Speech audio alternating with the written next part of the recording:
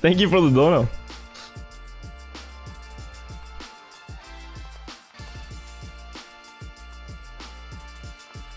But I am living 22 year old Wirtual stream, which is finishing this map right now.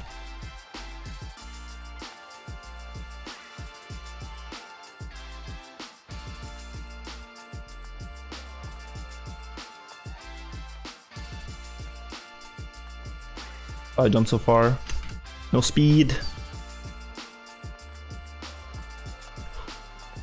Oh my god, that's the luckiest finish I've ever done. That is so lucky. That is so incredibly lucky.